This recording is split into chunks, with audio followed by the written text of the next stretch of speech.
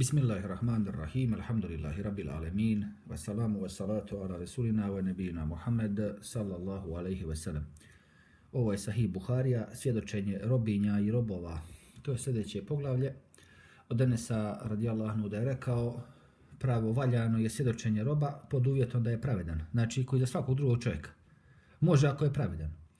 Svjedočenje roba dozvoljavali su također Šurejh, Zurari, Baneufa, Ibn Sirin je rekao, dozvoljeno je njegovo svjedočenje izuzimajući roba koji bi svjedočio za nešto u kori svoga gospodara, znači ovoga, jel, vlasnika, jer zato što ima interes da on pobjedi, da dobije, možda mu i prijeti ili možda je dobar prema njemu ili dobra prema njemu i tako dalje.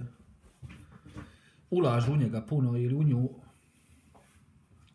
pa onda ima potrebe da laže, da vara, zato kaže ne prima se od ovoga. Inače, tako i kod ljudi koji su slobodni ili robovi svejedno ti, koji ima sukob interesa, ne može taj da svjedoči bio pravedan ili ne bio. Dalje, suprotno je bilo, neki su muslimani govorili istinu protiv svojih interesa, pa su i onda ovi munafci napadali. Imamo jedan događaj iz Kur'ana, a spominje se u suri El Munafikun, to je onaj događaj kada onaj munafik rekao da će ovi istirati iz Medine, misleći Muhameda s.a.v. i musliman da će ih oni pobijeti, da će im ne znam šta učiniti sve, pa je se dočio protiv njega, pa su optužili toga, jer mladića, kako te nije sramota, ovako, onako, on je tebi valio, ovo ono, kasnije došlo biva da je taj stvarno to rekao i vidimo kako ovaj munafik lagao, jel?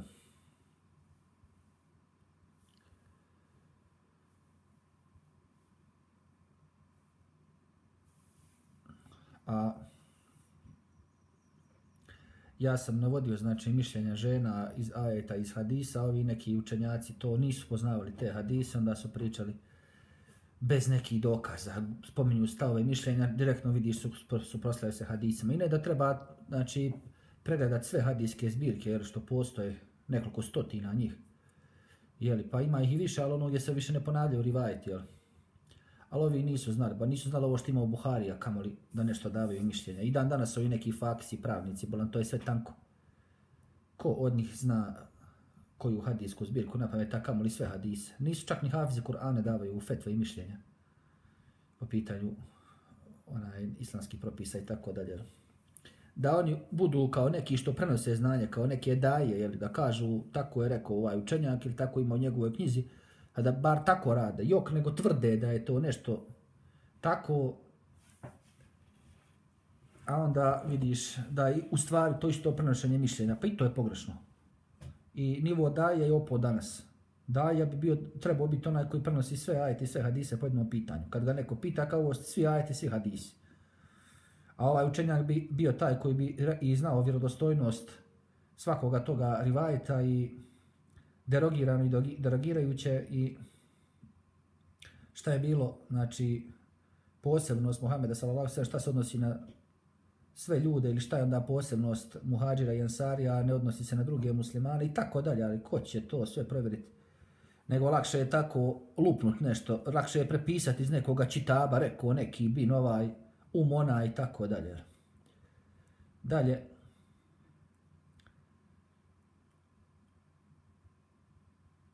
dok mu je, kaže, ovaj Hasan el-Basri i Ibrahim el-Nahai, kaže, dozvoljavaju svjedočenje u neznatnom, malom, vrijednom, spornom predmetu. Šurejh je izjavio, svi ste vi sinovi robonja, rob, robova i robinja. I ovo je najbolje što je rekao Šurejh, evo vidimo i taj stav drži Buhari, a ovo što neki dozvoljavaju nečemu neznatnom, i to nije dozvoljeno, ne smatram da je to ispravno.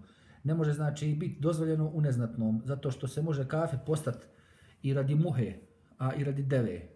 Ko zakolje ubije muhu u ime nekoga drugoga mimo Allaha, postoje kafir. Znamo kako šeitan varo neke, pa hajde bar žrtvu u ime šeitana, u ime nekoga drugoga, bar komarca ili mušicu, pa postane tako kafir. Jel?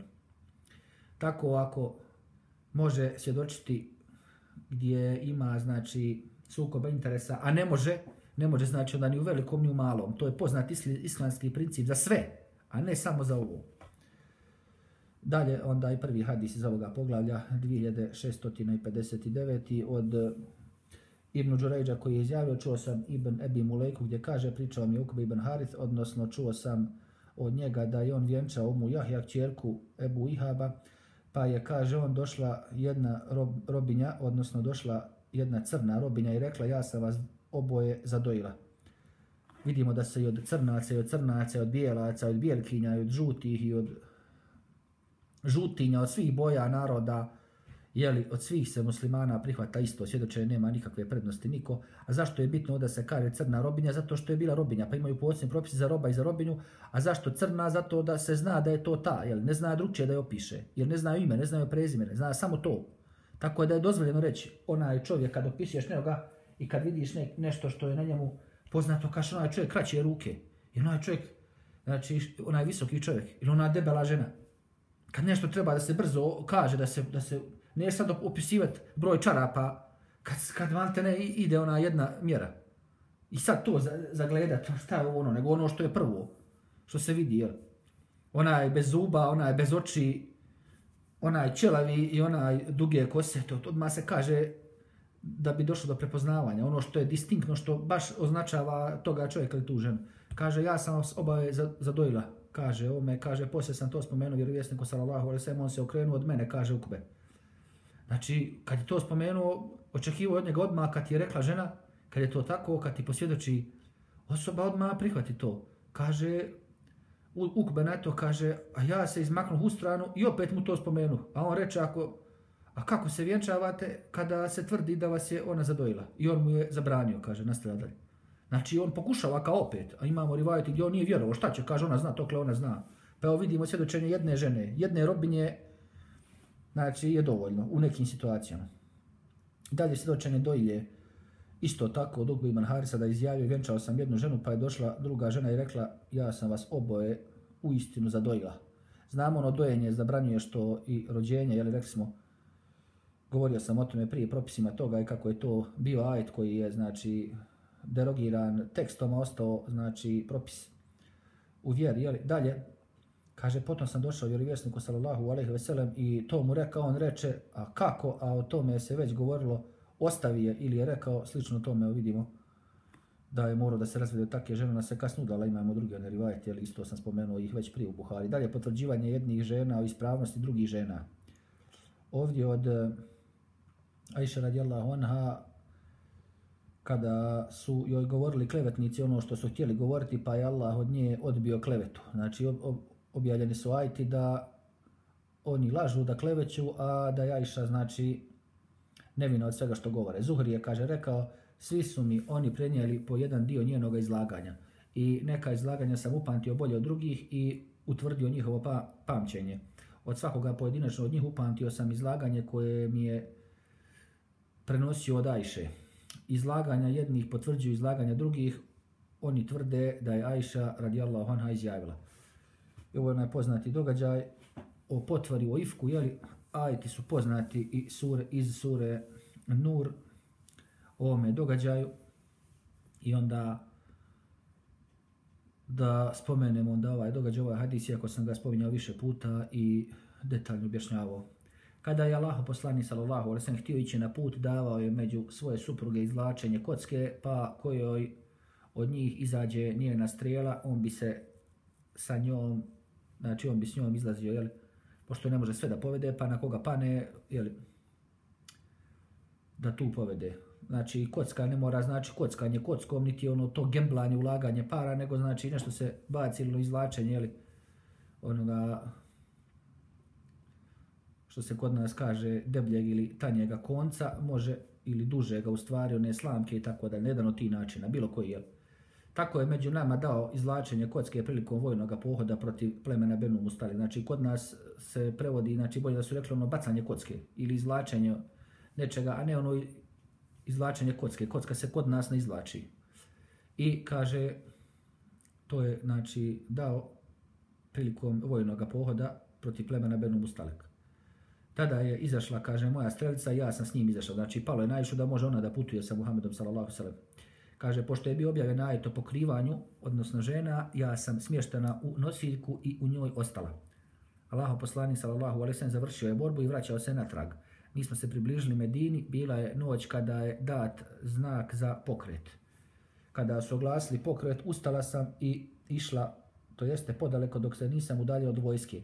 Kada sam obavila svoju potrebu, krenula sam svojim stvarima, tada sam se dotakla svojih prsa kad primijeti da je ogrlica od azifarskog bisera koju sam imala prekinuta. Ja sam se vratila natrag i tražila svoju ogrlicu. Traženje ogrlice zadržalo me i oni koji su sa mnom putovali krenuli su natovarivši na devu moju nosiljku i otišli sa mojom devom koju sam ja ranije jahala, računajući da sam ja u nosiljci. I vidimo znači da opet se spominje ova ogrlica. Jednom je prije ono pala ogrlica pa su tražili vodu, nisu našli pa je Allah subhanahu wa ta'ala objavio propise o tejemumu. Jel?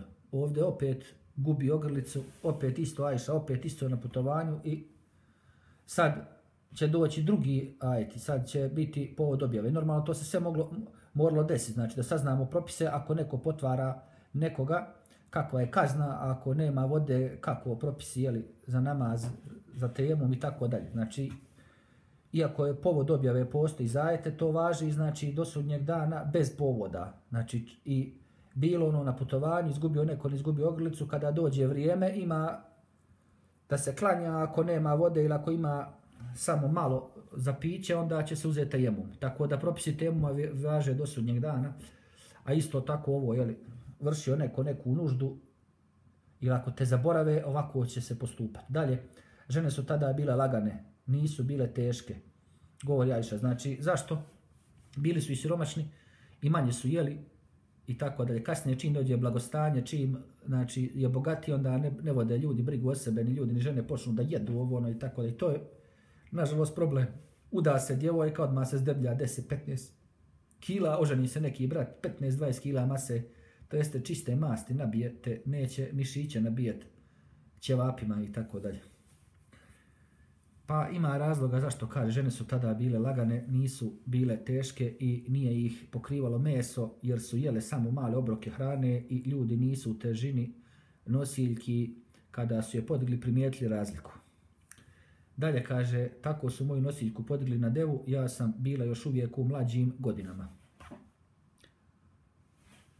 Kada su oni devu otpremili i otputovali, ja sam našla svoju ogrlicu. Vojska je već bila otišla kada sam ja došla do mjesta njenog boravišta.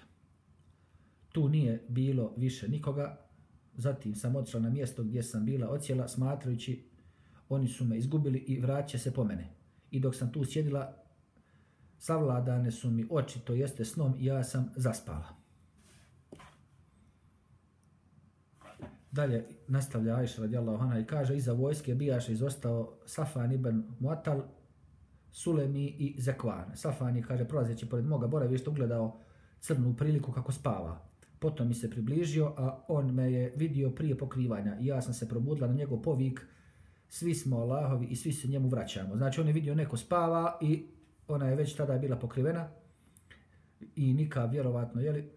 I onda on je na glas prouči ovaj dio ajeta i znači da ono, he, jadna, e, jadniče, kukavče, kukala, ustaj, znači ne radi se tako, nego povisi čovjek glas ili uči jezan, na primjer, ili, ili uči ajet, tako da prepoznaju ljudi da je to neki musliman čovjek i neko uči Kur'an i onda hoće da mi pomogne, našao me, budi me, jel nije došao da me opljačka, da me siluje i tako dalje. Tako da se ovdje vidi ispravno svatanje Jajše kako je postupila i, i ovoga Salfana radi, Safana radijallahu anhu i tako dalje. Tada je naredio, kaže, pa se njegova deva digla, stavio na nju svoju ruku i ja sam uzjahala. To jest tada je naredio, pa se njegova, de, njegova deva je znači legla, jel, prvo je morala leći, pa je, kaže, on stavio svoju, na nju svoju ruku i kaže, na devu, znači onda ona uzjahala, jel, znači i ono drži devu svakako da ne bi slučajno skočila, da se ne bi povrijedila, jel, i tako dalje, Aisha radijallahu anha, i kaže, ja sam uđehala. Kaže, on je vodio devu na kojoj sam ja jahala sve dok nismo stigli vojsku, koja je krenuši sa puta, ocijela početkom podneva. I onaj koji je trebao propasti, to jeste zbog te kletve, propao je. Potvorom je rukovodio u širenju Abdullah ibn Ubej ibn Selul. Znači, onaj kafir, vođa, vođa kufra kolovođa munafika, pa munafici ovi nisu bili, znači, bičovani samo tri čovjeka, neki govore da i četvrta osoba bila, ali evo tri se sigurno zna. Zašto nisu? Zato što su se ovi munafici zaklanjali i zaklanjali i zaklanjali se iza svojih zakletvi. Kaže, tako mi Allah, ja nisam lažu na mene ovo, ono, onda sumnja, onda ko će to ispitat, ko tu laže, ko ne laže, onda ne mogu biti kažnjeni, jel? Dalje kaže, poslije smo došli u Medinu, ja sam bila slaba jedan mjesec. Razbolila se, znači. Nevezano za ovu potvoru i to. Ona, ona još ne zna o tome ništa, jer zato kaže ovdje zbog, zbog e, ove klevete. Normalno da će kolovođe kufra širka, normalno da će mu nafće širiti ove vijesti prvo, prvo jel? ali to moraju pažljivo raditi. Jeli, da se ne sazna da su kafiri i tako dalje. I kaže Ajša radijallahu ja sam bila slaba jedan mjesec, a svijet širio priču klevetnika, sumnjao, sumnjao u moju bolest i ja nisam uočila nježnost vjerovjesnika, sallallahu alaihi sallam, koju sam uočavala ranije kada bi se razboljela. On bi ulazio, nazvao samo selam i pitao kako ste. Ja od toga nisam ništa znala dok nisam ozdravila. Potom smo izašle ja i Umu Mistah do Menasija, gdje smo obavile svoju potrebu, a izlazile smo samo od noći do noći. To je bilo prije nego smo imale, imali nužnike blizu naših stanova. U tome smo bili kao i raniji Arapi, izlazili smo radi nužde van Medine ili u pustinju. Zatim smo krenule ja i Umu Mistah, čerka Ebu Ruhma i dok smo išle ona posrnu u svom ogrtaču i reče propao Mistah. Znači, majka Mistaha kaže za Mistaha propao on. I ono, posrnu i ono propao on. Znači, odmah to izleti iz nje, kao sad, jeli, kao da odma ono stane na išinu stranu. A vidimo, ovo me ništa ne pričaju, ne govori ništa, ovaj, ne pita uopšte kako, šta, ništa ne govori ona. Nego ova, iz ovoga vidimo, znači, da vjeruje. Ajši radijallahu anha i odmah napada ili svoga sina, onda drugim riječima. Jel? A ja joj, kaže, rekao, ružno je to što si rekla, grdiš čovjeka koji je prisustovao na bedru. Bio od učesnika bitke na bedru, jel? Kako onda taj čovjek, jel, da, da ga napadaš kad su to ljudi kome obećan dženet, jel? Ali mogu da počine velike grijehe, jel? Ne može niko postati otpadnik od njih.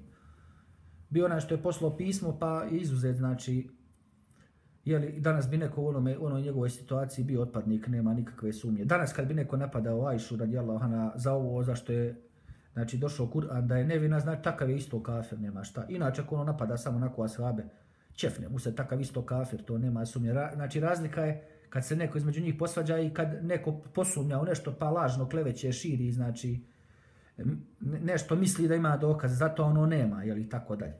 Pa su to očite razlike i kako tada se ne može i ne treba i ne smije, a sada se mora i treba i obavezno je tekviriti za današnje napade na ljude i tako dalje, na muslimane, muslimanke, pogotovo sahabe govorim, jel i tako dalje. Dalje, Ajša sad zna, ne zna ništa ovo potvori, kaže, kako sad nagrdiš, kako napadaš toga čovjeka? Kaže, ženo, reče ona, nisi li čula šta svijet govori? I saopšti mi, kaže, slučaj klevete, pa mi na moju bolest dodade još jednu bolest.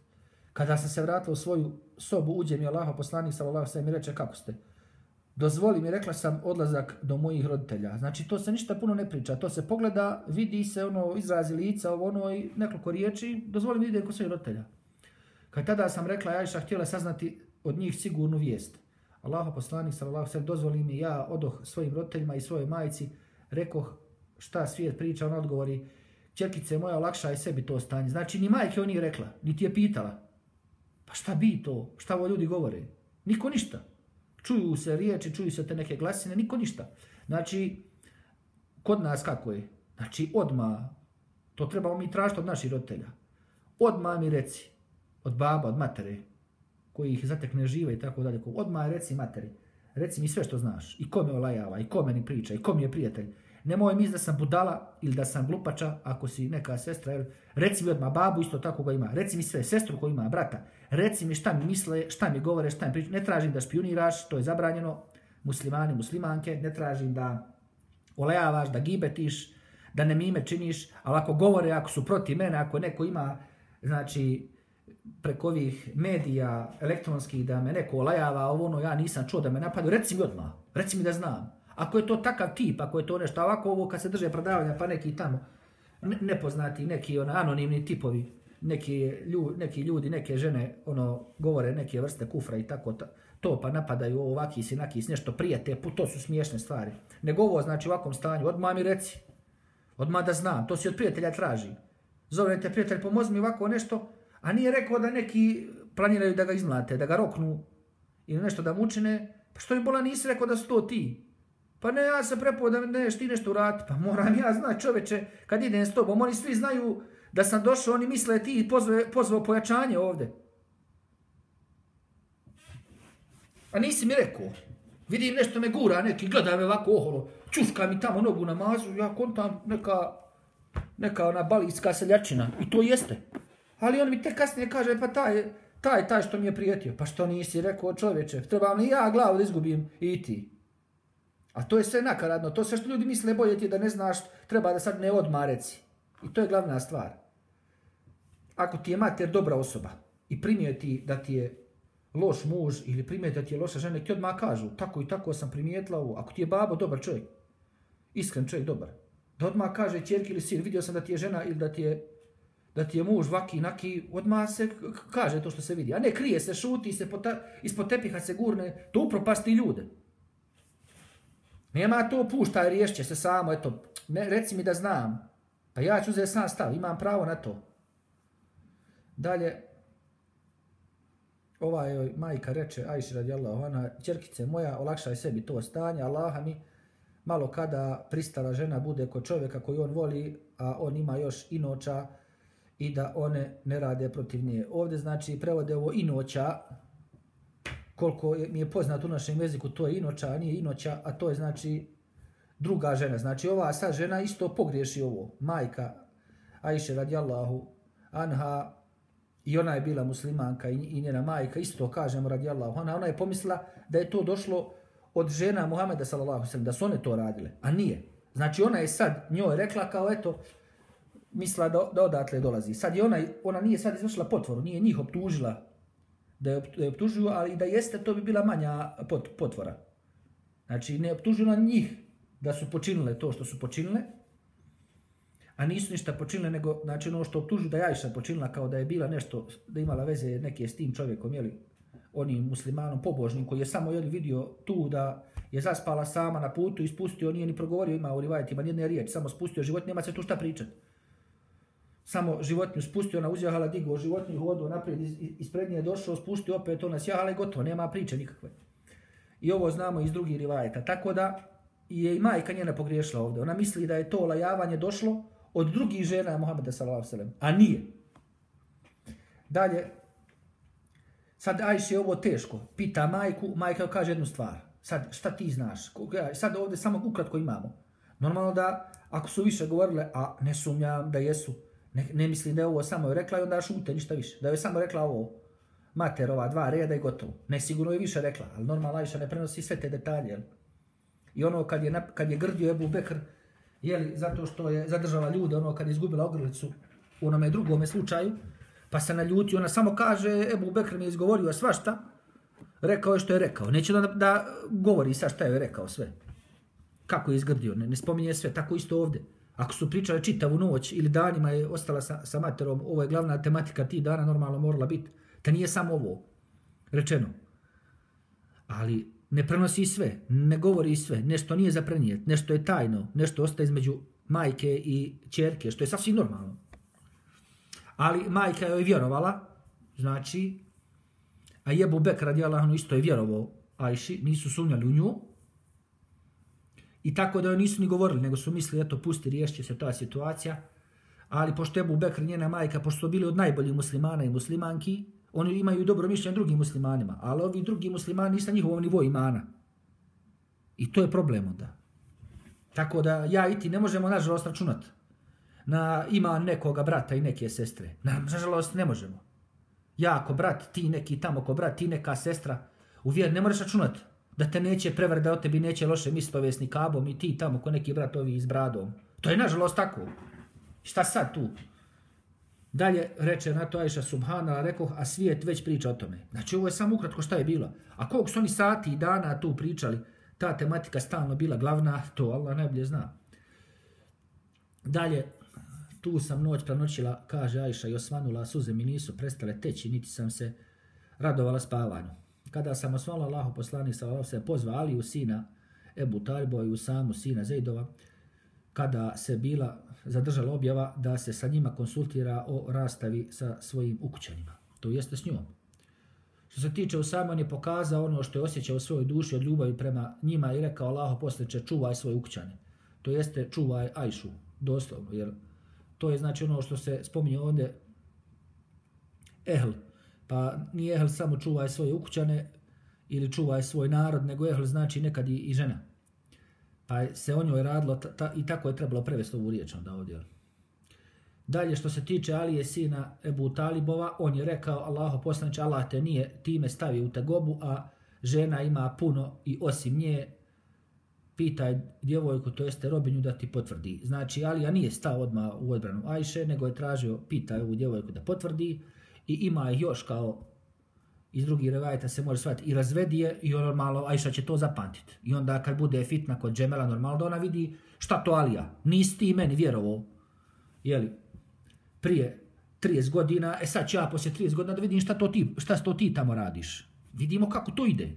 Kako se, znači, potvrdi nešto potvrdi. Alija je volio, znači, jer je Ajša radijala ona i njemu isto majka, jer, je, jer su žene Muhameda sa sve majke vjernika i vjernica, to je jasno. Ona je respektovala Aliju, radijala anhu, kao svoga halifu i tako dalje, ali imaju ove neke lične stvari, baš kao islamsko pravo što jedni drugima daju, ali imaju ove neke druge stvari. I to nije samo lako. Ona ovo zna sve i sad u sama kaže, potvrdi ono što se zna Ajši da je najbolja i sve, ali ja ne potvrdi to. I još kao pita Robinju da, da ti potvrdi. E, sada to Ajša zaboravi sam. I onda ove huđusije što su zadojene perzijskim šizmom, onaj, kako je mogla ona da izađe? Kako ona mogla da izađe? Pa nije da se bori ona protiv Alije, nego da vidi šta je to bilo. I to nije bila bitka kod, kod, kod Džemel, nego fitna.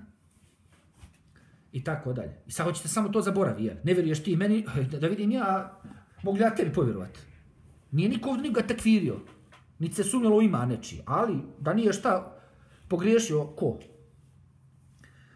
Dalje, Potom je Allah poslanik sallallahu alejhi ve pozvao pozvao Beriru i pitao: "Jesi li kod nje, to jeste kod Ajše radi Allah, vidjela nešto što te tjera u sumnju?" Znači što se tiče Muhameda sallallahu alejhi ve sve ovo ispravno. Ovo je sve pobjavi. Nije došlo još ajet da opravda Ajše radi Allah na za to. I onda on radi kao što se inače radi u islamu, ispitiva se. Ako ima sumnja nešto za nešto, onda se ispitiva.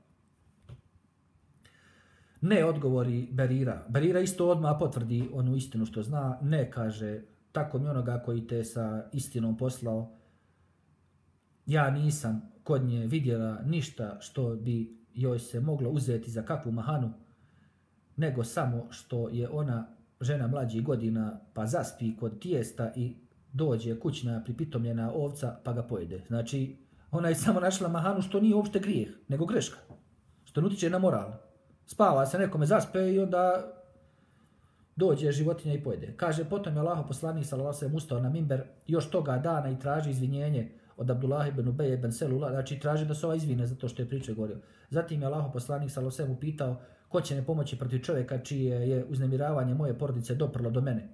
Allah mi ja znam o svim ukućanima samo dobro. I Muhammed sallallahu alejhi ve isto potvrdio odmah da zna samo dobro. On ništa nije primijetio, niti je šta se bilo primijetiti loše.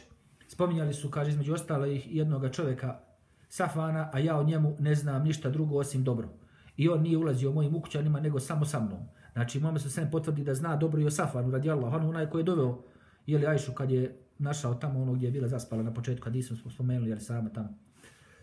Vratila se na mjesto da se vrate po nju, jeli, pošto su otišli, a nisu onaj, primijetili da ona nije već u nosiljci na devi, jeli Tada je ustao Sad ibn Muaz i rekao Allaho poslaniče tako mi Allaha ja ću te pomoći protiv njega. Znači ovo je vrhunski musliman, ovo, ovo je ovo što mi kažemo obično govoru muslimančina, znači njegovom smrti zatreštao se arš gospodara i tako dalje. Ovo je poznatih muslimana, prvaka i svoga plemena i, ta, plemena i tako dalje.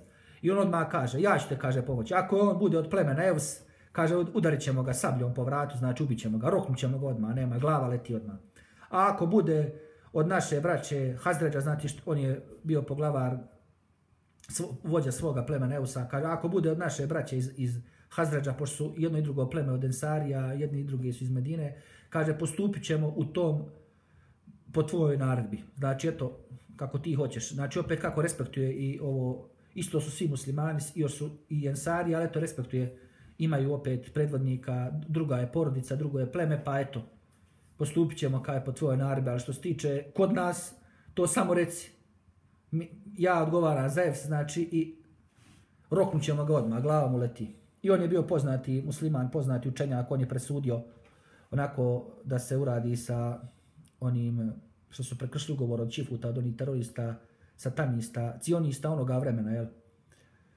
Onih koji su izvršili, znači, kidanje onoga ugovora sa muslimanima i napali muslimane, a normalno imaju ti stihovi u Bibliji, znači da onako kako on presudio njima, to ima iz Biblije isto.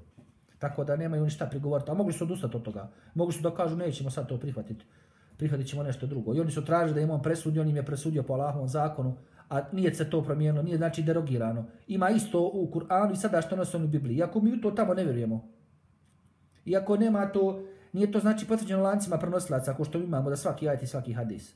Ali se poklapa sa, sa onim što se spominje, znači da se sudi po Allahovom zakonu, uopšte u Kur'anu, a detaljno da se tako osudi, znamo iz hadisa da je on prosudio i normalno to ispravno i pada kao šehid posle bitke na Hendeku Muaz radijallahu anhu.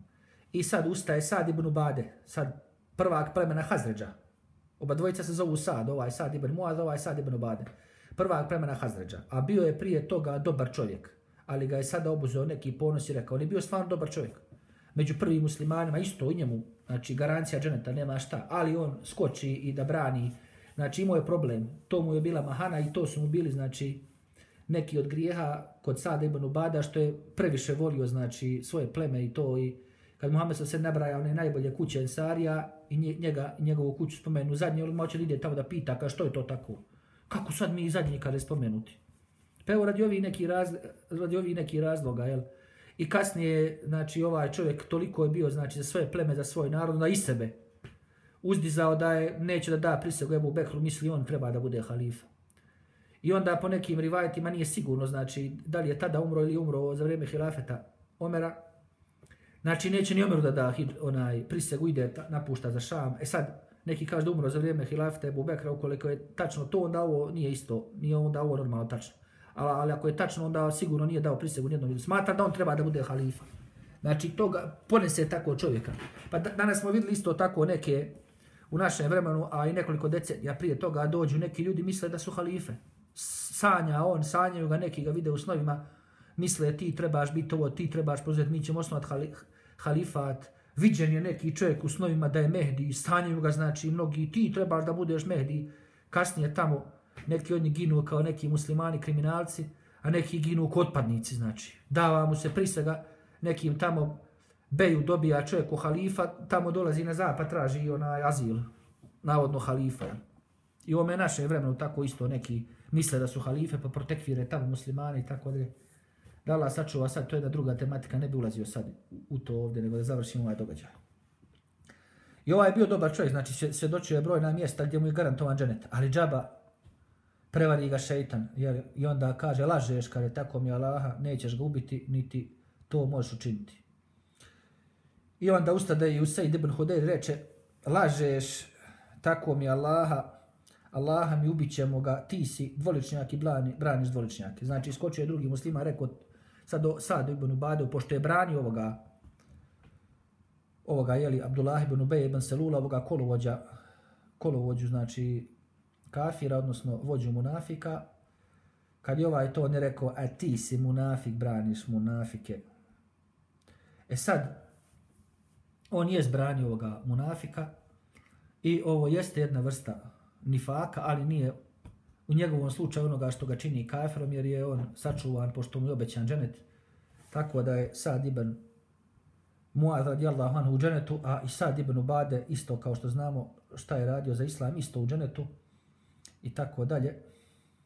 Ali u pravu bio ovdje Sejd radijallahu anhu što je rekao ti si munafik, braniš munafik, on je to doslovno radio. Sad imaju neki drugi znači, događaj, nešto drugo što on radio i prije ovoga, a i posle toga, jeli, tako da, toga je, znači, neveo, prevario ga je šeita, neveo ga je na to, znači, da, eto, pari se na svoje pleme i ovo ono, i onda nemo teško da se pomiri s tim i onda, eto, neće. Znamo, imamo, imamo više ovih, znači, ovako, ovi epizoda, ima više ovako događaja, gdje vas da, eto, odbrani, pa eto, smanji malo munafika ovo. I sad ovdje došlo je do toga da ovaj nije, znači, bio kažnjen tako, niti ubijen ovaj kolovođa munafika, ali što se tiče njega objavljeni su mnogi, znači, ajeti o munaficima što se tiče njega i ovi njegovih munafika koje, koje, koje je on predvodio i tako dalje.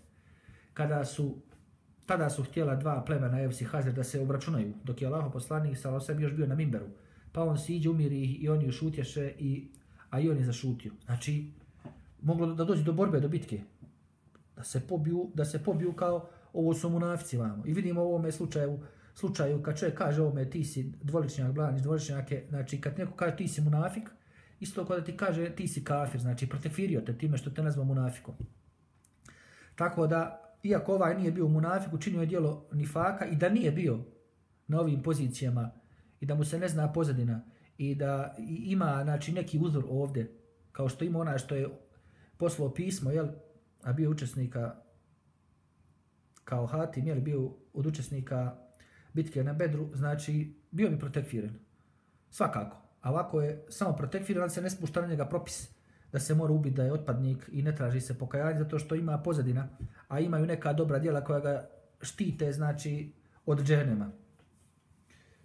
A može se desiti ovako brojnim ljudima i dan danas može ovako nekoga da prebaci pa se ne mora isto tekfiriti tako dalje. Ovo su vrlo znači, precizne stvari i zato je opasno pretjerivati u tekfiru, to jeste ne smiješ previše takviriti, isto tako to jeste ne smiješ premalo takviriti, zato svi tuči i ti se propis uče.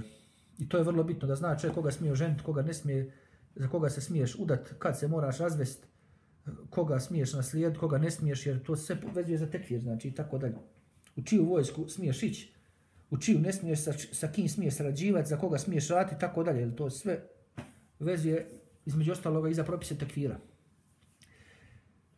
Toga sam dana plakala, suze mi nisu prestale teći, a niti sam se radovala snu, kaže Ajša radijallahu anha. A vidimo kako je ovaj ovako neki događaj odmah, kako raširi ljude, kako fitno lako dođe, kako se mogu ljudi odmah početi svađati, odmah da se obračunaju, da, da dođe do borbe, do bitke.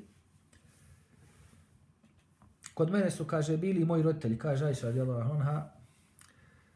Tako sam plakala dan i dvije noći da sam mislila da će mi plać iscijepati moje džigarice i dok je njih dvoje sjedilo kod mene, a ja plakala, zatražila je, kaže Ajša radijallahu anha, dozvolu za ulazak jedne žene od Esarija, ja sam joj dozvolila jedna od Ensari kao će da uđe, kaže, pa je ona sjela i sa mnom zajedno plakala. Znači ima tako neku dobru prijateljicu, dobru drugaricu, dobru jaranicu, kaže ona dođe i sažali se, znači i sa mnom zajedno plače radi moje situacije.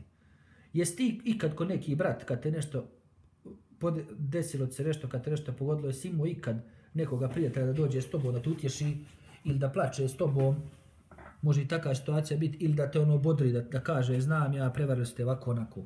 Jesi ti ko sestra ikad doživila kad te neko iznapada, kad te olajavaju i da dobiješ ikakvu podršku, kad te neko prevari tamo? Jel ti kad jedna prijateljica Jaranica došla i zagrla te i hoće da ti da neku podršku, psihičku, fizičku, materijalnu, ili da dođe da plače s tobom, i tako dalje. Ima li ikad tako? Jesmo li ikad doživjeli? Doživjeli smo tako neke, neka situacija, neke, da neko kaže pa upravo si ti, pa eto znam ja da nisi ti tak evo da, te, da ti kažem, žao mi je što sam čuo te, tebe, javio te. I prođe tako nekad vremena, ali opet kasnije ispanu ti ljudi gori nego taj što me olajavaju, što ti ljudi ispanu gori, taj što se to sažali u tome momentu. Kakvi sa ima kombinacija, znači životnih, odakle se dođu problemi, fitnet i tako dalje. A onda neki ljudi s kim čovjek nikad nije tako blizak bio, dođe i kaže onaj, traži halala od tebe. Pa ne znam ni da trebaš, dobro, eto, ako tražiš halala, šta ću? Ne, ne, kad ja sam govorio, ja nisam znao halalim, ja sam pogriješio po pitanju tebe. Ne znam čovjeka. Nekoliko puta samo vidio jedne riječ, nisam progovorio s njim, ali čovjek misli da treba u redu.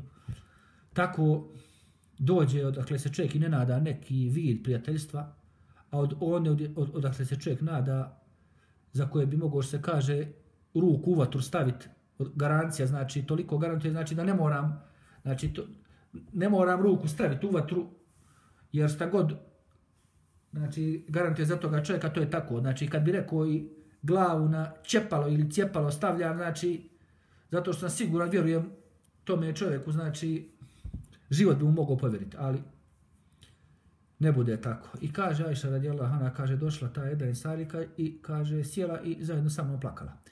I dok smo, kaže, bilo u tom stanju, ušao je Allah poslani sallallahu alaihi wasallam i sjeo, A onda ovdje prevod ovi kaže unišao. Nemoj ovaj krkanluk i divljaštvo i seljakluk da bude ovdje. Kaže unišao. Kakav bolan unišao? Ušao, ču unišao. Ušao.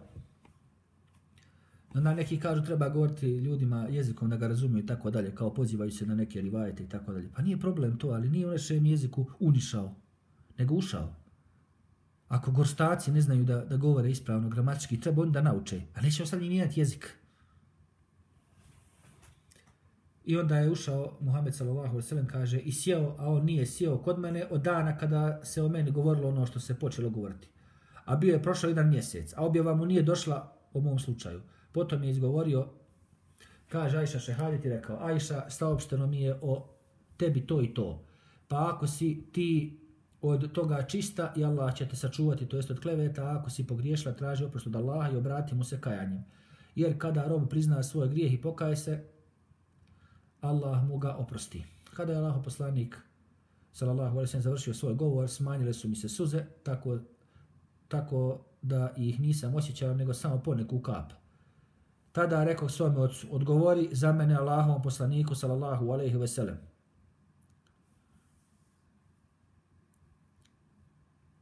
Ona znači kaže Ebu Beku, sad odgovori, to jeste garantuj za mene odbrani mi, odbrani mi čast, znaš kakva sam, jel? Kaže, potom kaže, rekao svojoj majici, odgovori za mene Allahom poslaniku sallallahu alejhi ve na ono što je kazao, ne Allaha mi, ne znam šta ću reći Allahom poslaniku sallallahu alejhi ve odgovorila je ona.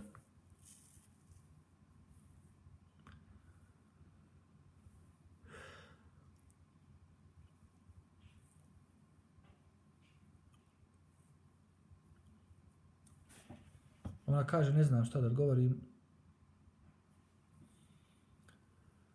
A što se tiče ovdje Abu Bekra, kaže, odgovori za mene, Allahom poslaniku sallallahu alejhi ve sellem i onda ovdje samo piše reče Abu Bekr. Znači Abu Bekr isto rekao što je ona rekla je samo ovdje su zaboravili da prevodu to on isto rekao ne znam šta bi odgovorio šta da kažem Allahom poslaniku sallallahu alejhi ve sellem znači ovdje su oni zaboravili da prevod da prevode to. Znači Abu Bekr rekao isto kao što je i majka njena rekla ne znam šta da odgovori Muhammedu se na to.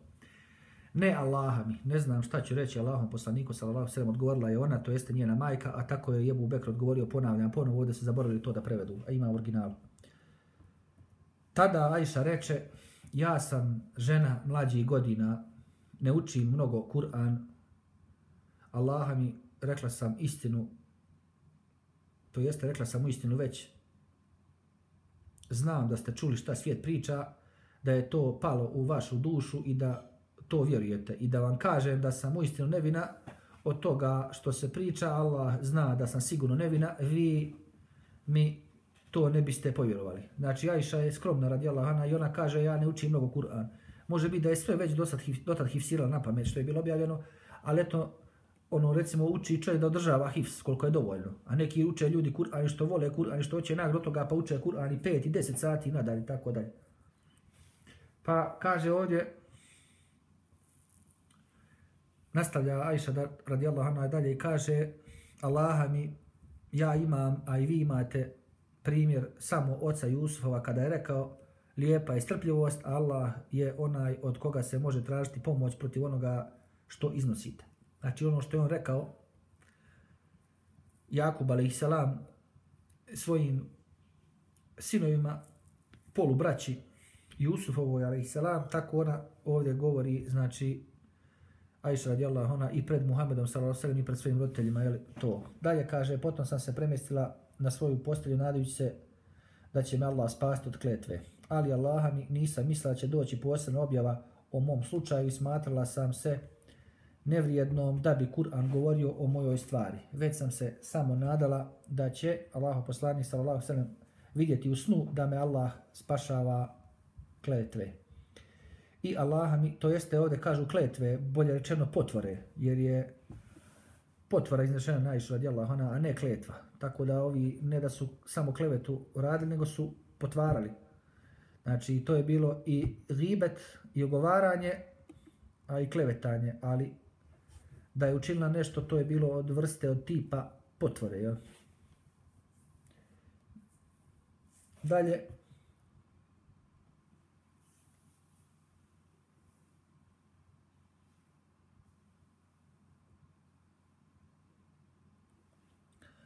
jer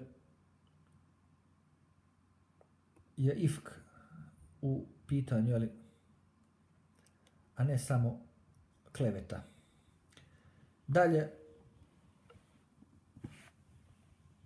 i Allaha mi dok on nije još ni umaknuo sa svoga mjesta, a niti ko izašao od ukućana, ode mu objava i obuze ga ono što ga obuzimaše od vrućine, toliko da se iz njega spuštaše znoj kao biser u hladnom danu i kada se Allahom poslaniku sa to rastupi, on se nasmija. Prva riječ koju je progovorio bila je Ajša, zahvali Allahu, Allah te već spasio, to jeste poslavši objavu u kojoj se kaže da si nevina. Znači ona sad i opisuje kako dolazi objava Muhammedu s.a.v. i ovo je jedan od načina objave kako se direktno vidi na licu i ako je hladan dan da se oznoji i tako dalje.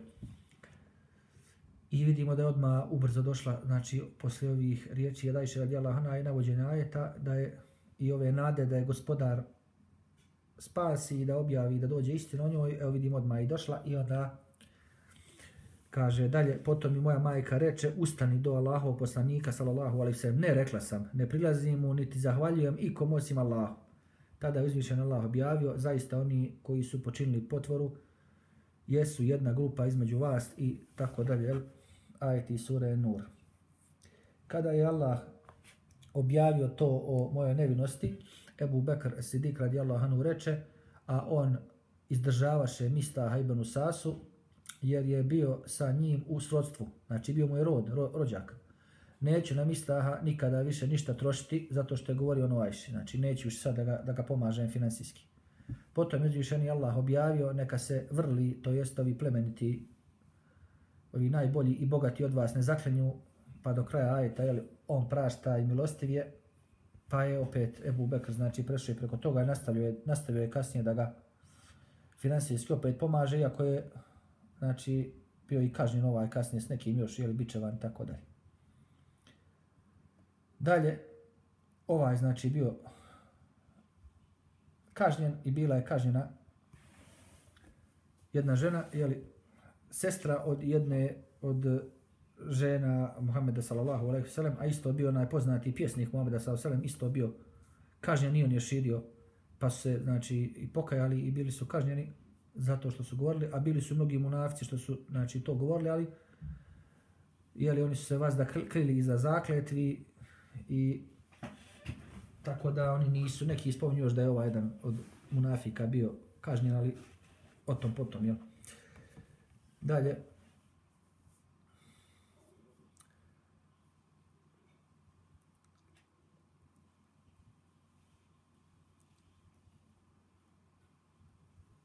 ajeti onda iz sure Nur, zaista oni koji su učinili potvoru, čine jednu skupinu od vas, ne smatrajte to zlim za vas, ne, to je dobro za vas, svakome čovjek od njih, to jeste koji su potvoru činili.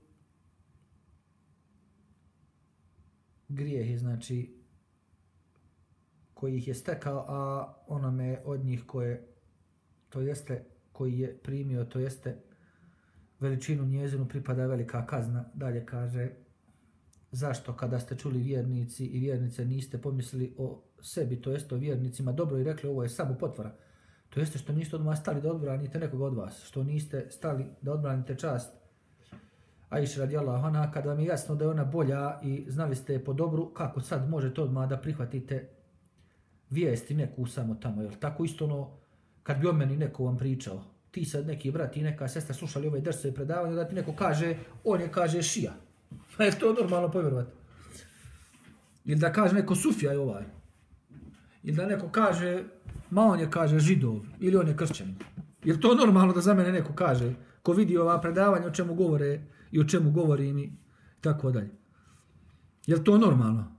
Da neko kaže, ma neki je sektaš, ma novotar je neki, ma kaže neki mezhebaš, ma neki partijaš. Je normalno to?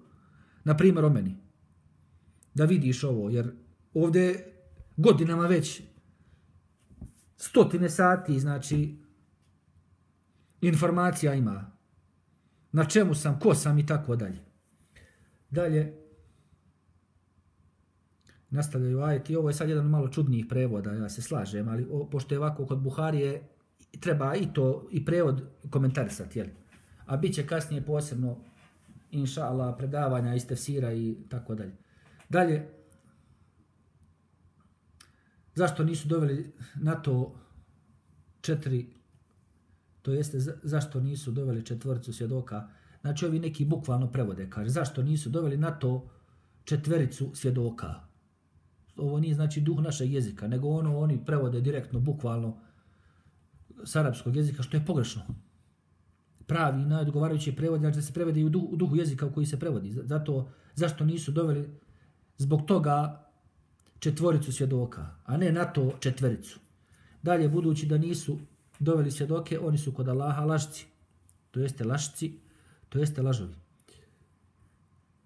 I da vam nije Allahove dobrote i milosti na ovom i budućem svijetu, sigurno bi vas zadesila velika kazna zbog onoga u što ste zagazili. Kada ste potvoru prenosili svojim jezicima i govorili svojim ustima ono što niste znali i to ste smatrali neznatnim, a to je kod Allaha veliko. Zašto niste, kada ste čuli, rekli, nama ne, dolikujemo, ne dolikuje da ovako nešto kažemo, neka je tebi, to jeste Allahu slava, ovo je velika potvora.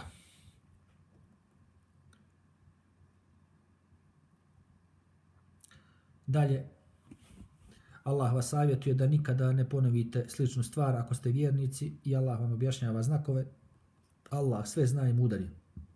Zaista će oni koji vole da se raširi nevaljalstvo među vjernicima i znači oni koji šire nevaljalstvo, a i vole da se ono proširi. Jer među vjernicima iskusiti bolnu kaznu na ovom i budućem svijetu, Allah zna, a vi ne znate, i da vam nije Allahove dobrote i milosti, i da nije Allah milosti i milosrdo, znači ubrzao bi vam kaznu, na to se odnosi, jer to je ono znači što je izostavljeno, a podrazumijeva se to, znači ovo je poznato, znači ovako vidimo i u Koranu, a spominje se ovako i u nekim hadisima, Allah najbolje zna, odnosi se znači na to, zato nekad napišu ovako ekstra ili u zagradi stave, znači da nije pa se odnosi, znači to jeste da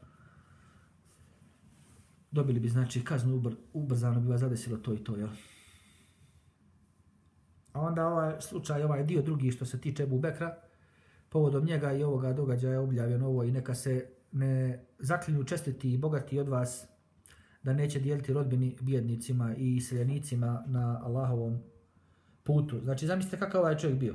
Znači, i dalje kaže u ajtu, u prevodu znači neka oproste i neka pređu preko toga, zar vi ne volite da vam Allah oprosti, Allah prašta i milostinje, pa je na ovo Ebu Bekr i rekao da želi, znači, i on i hoće da pređe, znači da i da će on to, znači da halali, pa da onda i on želi da i, i on dobije oprost, da njemu Allah oprosti i, i tako je i uradio.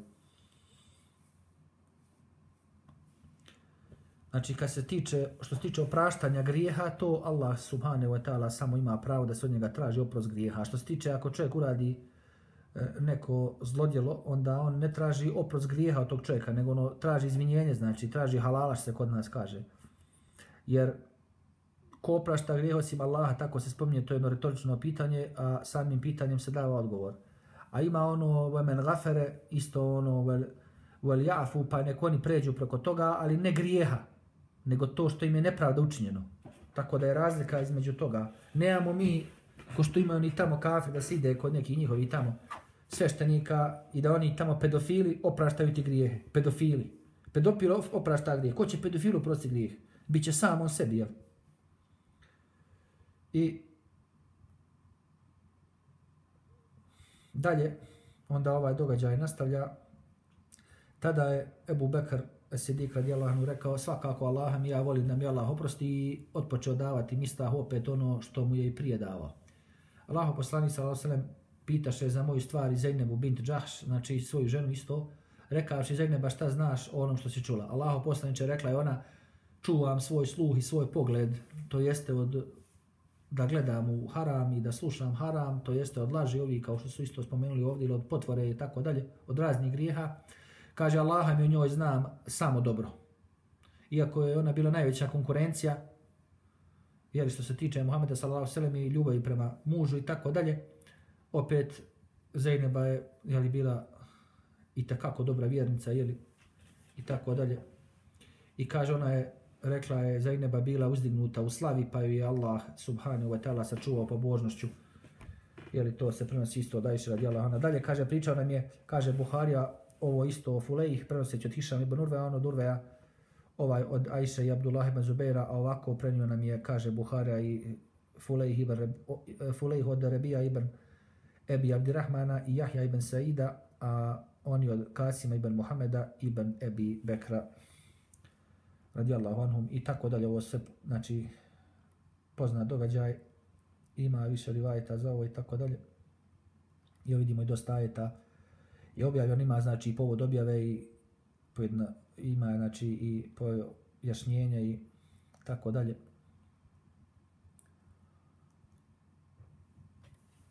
I sa ovim događajem ću znači onda i završiti ovaj ders sa ovim podružim hadisom. I ovdje ima jako mnogo znači mudrosti i satima se može ovome hadisu jednom jedinom pričati. I ja sam to i radio, jer što se tiče i ostalih predavanja, ali ovdje evo, za sad, jeli, pošto sam odlučio da sve ponovo ne ponavljam, spomenuo sam neke stvari, normalno, nešto se mora i ponoviti, a nadam se sam nešto i novo spomenuo, jeli, što sam ja umeđu vremenu shvatio, naučio, saznao. I onda, eto, ne bili još ovo bolje shvatili, izvukli pouke i da se nama ne desi da mi upadnemo u ovakve neke slične grijehe i tako dalje.